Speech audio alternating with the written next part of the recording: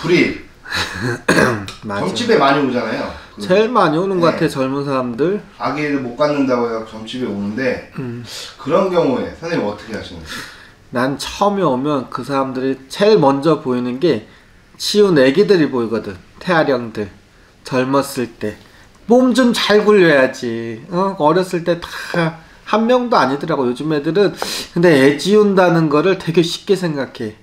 옛날에는, 옛날 엄마들은 그런 걸 상상도 못 했을 텐데, 요즘 애들은 그냥 뭐, 하룻밤 자고, 뭐하고, 애 지우고 하는 걸 너무 쉽게 생각해. 근데 진짜 애 낳을 때 못 낳거든. 왜? 자기가, 애가 뭐, 사주에 뭐, 세 명이 있을 수도 있고, 네 명이 있을 수도 있어. 근데 그걸 미리 다 지워버려. 응? 그리고 있는데도 삼신할머니가 화가 나 있거든. 그러면 애를 못 가져.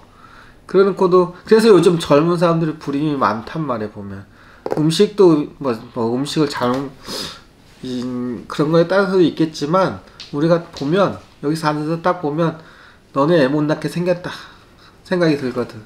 응? 진짜 몸 관리를 잘해야 될 것 같아. 특히 여자분들. 응? 그래야지 진짜 좋은 사람 만나서 결혼해서 자기 애를 갖지 못 가져 잘못하면 진짜로 난 그게 제일 안타까워 지금 보면.